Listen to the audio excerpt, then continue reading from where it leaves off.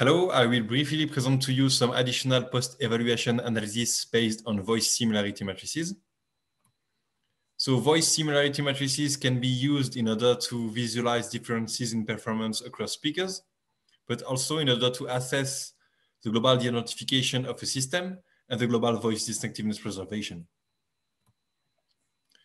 Voice similarity matrices are just matrices where an element is a similarity between two speakers, and the similarity is a sigmoid applied on an average score between every segment from a speaker and every segment from another speaker.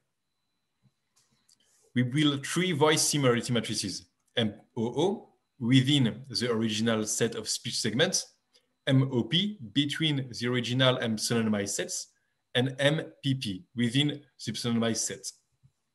Here I will use P for pseudonymized a for anonymized, and I will use them in the same manner, even if it is two different notions. So here are three artificial examples. And for each case, we have MOO, MOP, and MPP. To check the de-identification, we can watch how much the diagonal disappear from MOO to MOP. And to check the voice distinctiveness preservation, we can watch how much the diagonal dominance remains the same from MOO to MPP. So here, the best case is case C because we have both the identification and voice distinctiveness preservation. So by comparing the dominance of the diagonals between the, the matrices, we can have an insight on the global performance of a system. So we, we compute two, matri two metrics, sorry, de-identification. So we compute how much the diagonal disappear from MOO to MOP such that DID equal to 100% is perfect de-identification.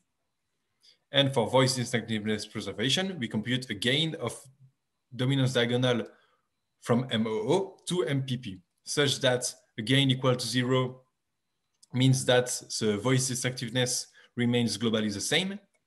A gain above zero means that there is a gain of voice distinctiveness, and a gain below zero means that we have a loss of voice distinctiveness. So here are the results for the systems. We can see that some systems perform similarly to baseline one. So where we have a good de-identification as the diagonal disappear from MOO to MOP, but we have a poor voice distinctiveness preservation because diagonal tends to disappear also from MOO to MPP. Some systems perform similarly to baseline two, where we have uh, we have still voice distinctiveness in the protected space, as there is still a bit of diagonal in M, MPP, sorry. However, there is a poor identification. System K2 seems to perform well uh, both on de-identification and voice distinctiveness preservation. However, we can see that uh, on the protected set of speech segments, there are some sparse confusion between pseudo voices for some speakers. Here are the results for another set for VCTK test female. So we can see that it performs differently.